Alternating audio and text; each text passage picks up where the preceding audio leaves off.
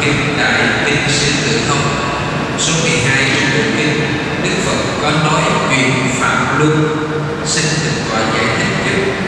Cùng với đại chúng hiểu được từ chuyện Phạm Luân có nghĩa như thế nào? Ở trong ờ, văn hệ Bali thì có hai khái niệm. Khái niệm một là chuyển pháp luân Chakravati thứ hai đó là chuyển phạm luân thì đây đó là đề cập đến à, hai khái niệm vua.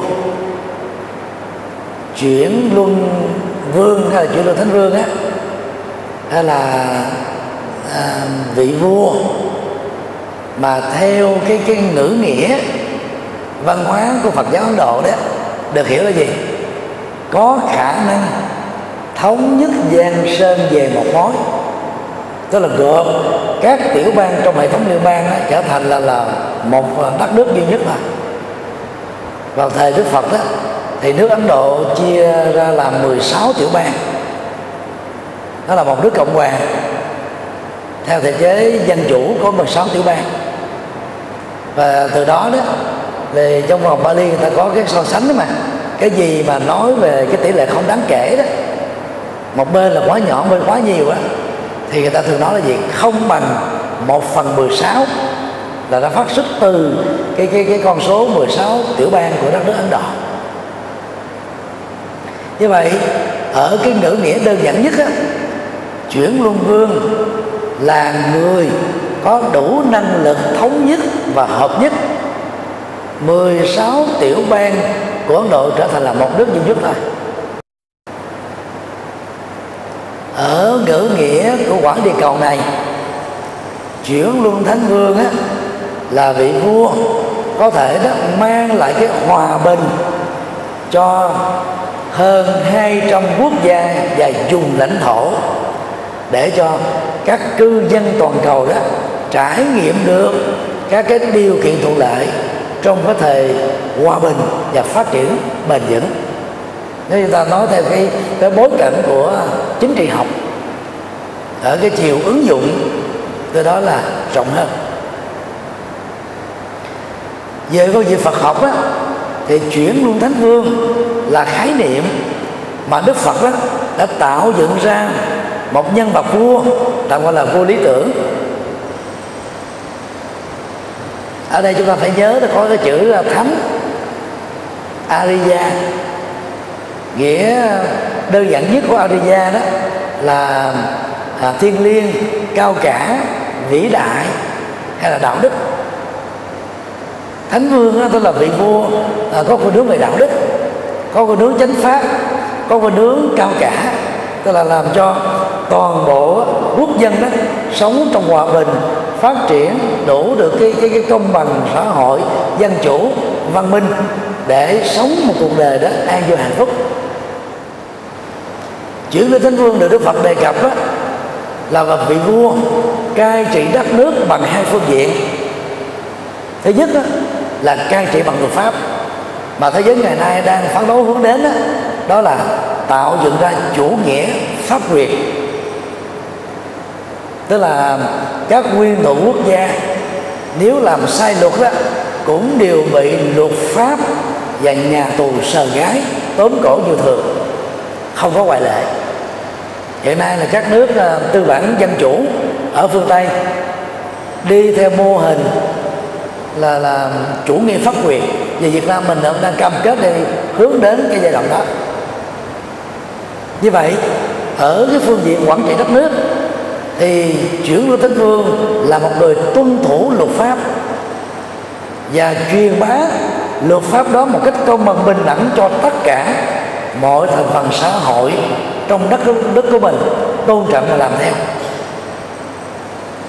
Về phương diện thứ hai, ngoài chủ nghĩa pháp quyền mà nhà vua đó sử dụng pháp trị có thể đạt được, thì cần phải sử dụng chân lý và đạo đức Phật pháp để hỗ trợ cho sự phát triển theo hướng tinh thần cao quý, tự nguyện để tất cả các thần dân á, trải nghiệm được an vui hạnh phúc ở trong đời.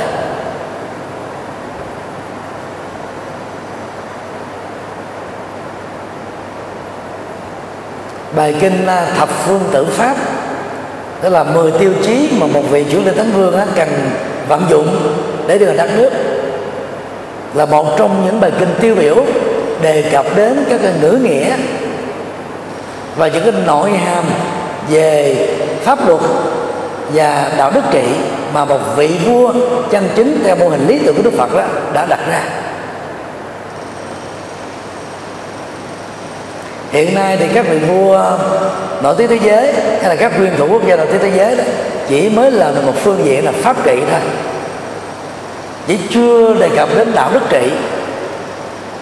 Còn các nhà triết học đó, thì đề cập đến đạo đức trị nhưng lại bỏ qua phương diện pháp trị với được một phương diện này mất một phương diện còn lại. Còn chuyển lưu tấn vương là phải hội tụ được cả hai phương diện bên trên.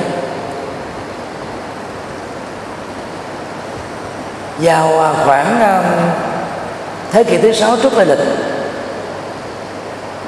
ở phương tây đó, thì plato đã đề cập đến một cái mô hình vua lý tưởng mà ông đặt tên nó là gì?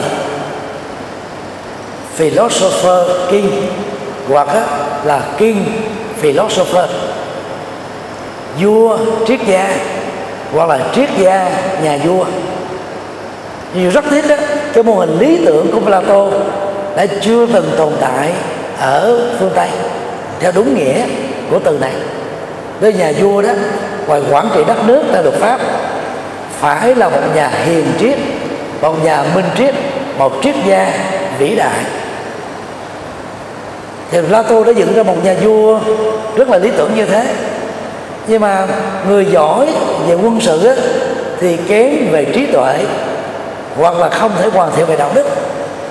Còn người giỏi về trí tuệ và đạo đức á, thì không giỏi về binh pháp không giỏi về cai trị đất nước. Cho cái mơ ước của Plato đó để tồn tại đơn thuần là một mơ ước thôi trở về châu Á thì chúng ta thấy là trong Phật giáo đó thì Tây Tạng là đất nước đi theo cái mô hình. Mà nhà vua đó cũng là một vị cao tăng. Dalai Lama thứ 14 này đã có 14 đời, đóng hai vai trò, vừa là quốc trưởng của Tây Tạng và vừa là tăng thống của Phật giáo Tây Tạng. Theo đúng nghĩa của từ này tức là Plato dựng ra một mô hình vua triết gia, nhưng là mô hình đó là không xài được ở phương Tây.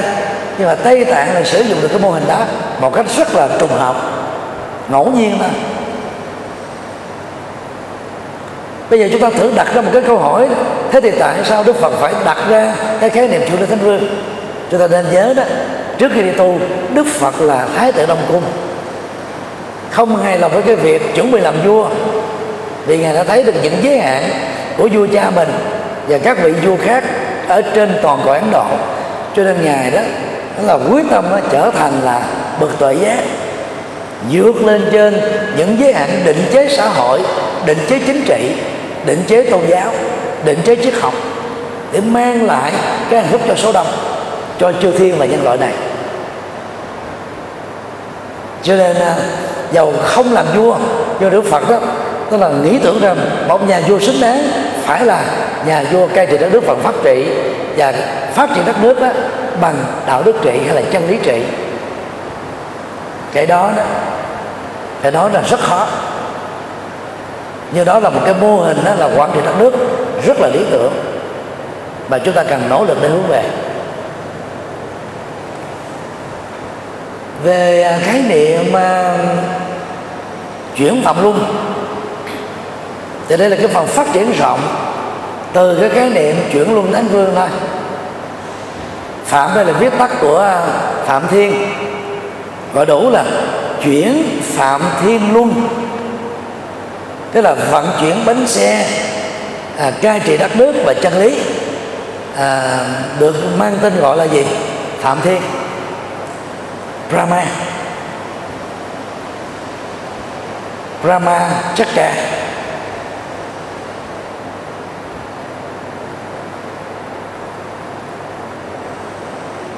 trong ờ, cái điển Bali đó, khái niệm ờ, phạm thiên được đề cập khác hoàn toàn với phạm thiên ở trong tôn giáo của đạo bà la môn. Nếu đạo bà la môn cho rằng đó đứng đầu của vũ trụ này đó là Brahma, tức là Phạm Thiên, một ngữ nghĩa ờ, đặc biệt mà Ấn Độ giáo chỉ cho cái từ mà các tôn giáo trước thần gọi là thượng đế hay là đấng sáng thế hay là đấng tạo dựng đấng chúa trời.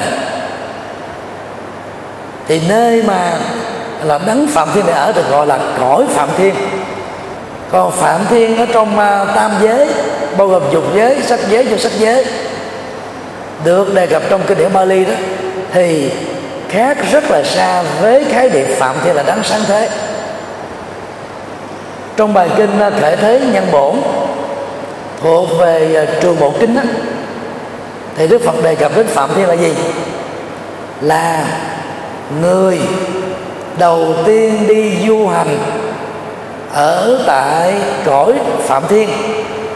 Rồi thấy cái cảnh trí đó đẹp quá thiên nhiên hữu tình quá trái cây đó và thảo mộc ở đây đó hấp dẫn quá cho nên không muốn trở về lại nước của mình từ đó ông trở thành người đầu tiên là cư dân duy nhất ở trên cái cái cái quả địa cầu mà kinh tặng gọi đó là cõi phạm thiên.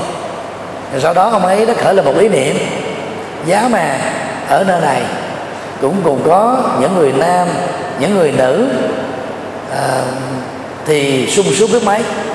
Thì đồng thời trùng lập với cái quyền ước đó thì ở những hành tinh khác cũng có những cư dân đi du hành. Và cũng giống như là cư dân đầu tiên này cảm thấy thích thú với cái quả địa cầu phạm thiên. Cho nên họ định cư ở đó luôn. Cũng giống như là những người anh đi vượt biên à, sang à, Massachusetts và trở thành là định cư đầu tiên là lập ra nước à, nước Mỹ về sau này. Và thấy Đức Phật đó, trong kinh Khải Thế Đương Bổn đó là ông Phạm Thiên đó vì ngộ nhận cái quyền ước của mình chính là nguyên nhân dẫn đến sự ra đề bằng hóa sanh của các cư dân khác có mặt sau ông. Đó là cách mà đức phật lý giải cái nguyên nhân đầu tiên dựa vào thượng đế là không chấp nhận được. Thực tế ông phạm thiên đó không phải là đấng chúa trời tạo ra con người và dặn vật, chỉ là một cái ngộ nhận do sự trùng hợp ngẫu nhiên thôi giữa thế giới hiện thực với cái quyền ước của mình thôi chứ không phải là cái quy luật chân lý nhân quả mang tính kéo theo. Trong kinh tạng Bali nói chung và kinh pháp của nói riêng đó khi Đức Phật sử dụng đến cái chữ à, Brahma là Phạm Thiên thì Đức Phật đó không sử dụng với hình thức là một danh từ. Ở nhiều ngữ cảnh đó, mà sử dụng nó với hình thức là một tính từ. Để chỉ cho tính thiên liêng tính cao cả tính vĩ đại tính tối thiện như vậy à, áp dụng cái cái ngữ nghĩa đặc thù này vào trong cái khái niệm chuyển phạm thiên luân hay gọi tắt là chuyển phạm luân á, thì chúng ta nên hiểu là gì? Vận chuyển là bánh xe à, chân lý cao cả vào trong cuộc đời. Và cái chân lý cao cả đó đó là đưa cái thế giới hay là cái cõi nước hoặc là quả địa cầu phạm thiên xem nó như là quy luật chân lý không thể nào sai khác. Ý ờ, đức phật ở trong ờ, kinh tạng bali đó cho rằng đó là gì? Cái cái cõi giới mà chúng ta đang sống. Tức là quả đi cầu này đó nó thấp về phước báo và tri thức so với những cõi trời. Mà cao nhất đó à, ờ, một ngữ nghĩa nào đó đó là cõi phạm thiên. Thì vậy là chuyển à, lưu thánh vương đó, là vận chuyển bánh xe là pháp trị và đạo đức trị thì chuyển là à, phạm thiên vương hay là chuyển phạm thiên à, luân đó tức là vận chuyển bến xe pháp trị và chân lý trị đạo đức trị ở trên cõi trời đó được xem là cái hình thức là cai trị cõi trời này một cách đó là cao đẹp nhất. Và đạt được cái kết quả như ý nhất mà. Thực ra đó thì ở cõi nước nào cũng thế. Khi mà cái trình độ dân trí và đạo đức của con người phát triển cao đó thì chân lý nó như thế là như thế thôi. Muốn cao hơn cũng không còn cao nữa. Đạo đức đó thì à, toàn hảo thì đó nó cũng chừng đó thôi. Ở cõi trời nào thì nó cũng như thế thôi. Ở cõi phật nào cũng như thế thôi có không thể nào cao hơn được nữa. Giống như cái gì đó nó phát triển đến cái trần nhà rồi thì không thể nào vượt ra khỏi nữa tới cái đỉnh điểm rồi thì đến đó chừng đó thôi. Cho đây là một cái cách nói à, về về vận chuyển bánh xe chân lý ở trên cõi trời đây là chân lý cao nhất hay là đạo đức cao nhất à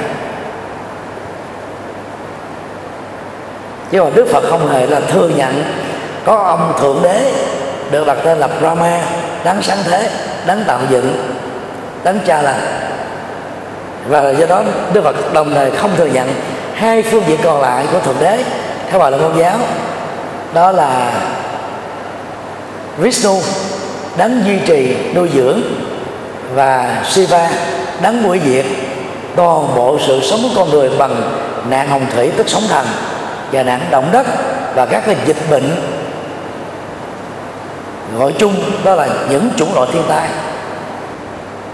Thì dựa vào à, khái niệm à, à, chuyển luân thánh vương và chuyển à, à, phạm luân đó các nhà sư Phật giáo Tích Lan trong thời cận hiện đại này như là trong khoảng à, ba thập niên trở lại đây có vị sư đó đã mạnh dạng trở thành ứng cử viên tổng thống Tích Lan.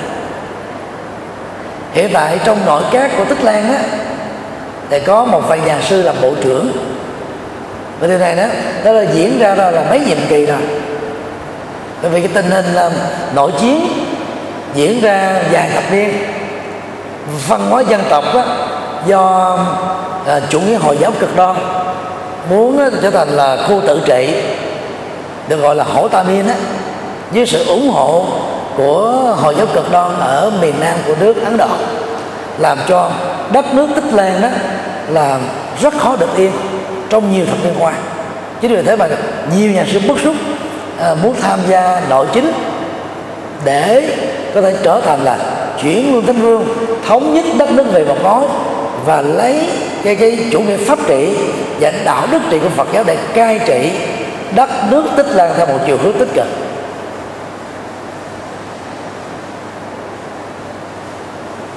Thì dĩ nhiên là cái khuynh hướng à, nhập tới về phương diện chính trị ở tại tích lan bởi các nhà sư là cách tăng đó không phải là dễ dàng được chấp nhận ở các quốc gia Phật giáo nguyên thủy còn lại bao gồm Ấn Độ, Miến Điện, Thái Lan, Lào và Campuchia. Về phương diện này đó thì Phật giáo Tích Lan còn đi trước cả Phật giáo Việt Nam, Phật giáo Trung Quốc và một số nước khác. Trước đây các nhà sư chúng ta là vai trò là quốc sư thôi. Những nhà cố vấn bậc thầy về một lĩnh vực chuyên môn nào đó cho đức vua à, góp phần đó là quản trị đất nước theo một cái chiều hướng tích cực lợi ích cho đại đa số thì nhân à, cái khái niệm mà chuyển phạm luân thì chúng tôi nói rộng thêm à, về à, cái cái ngữ nghĩa so sánh với cái quan niệm vua trước và lý tưởng của Plato về cái mô hình là à, nguyên thủ quốc gia và cũng là à, tăng thống của Phật giáo Tây Tạng.